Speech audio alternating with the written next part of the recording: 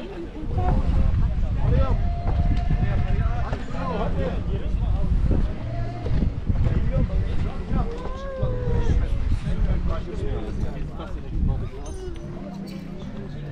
du ha et glass?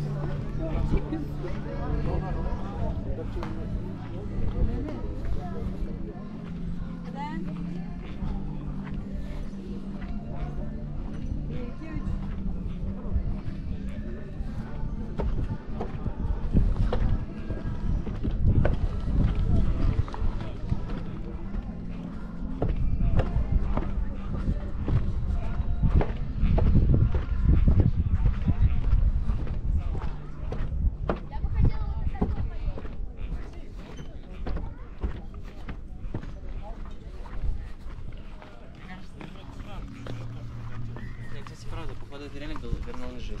Вернул Потому жизнь. что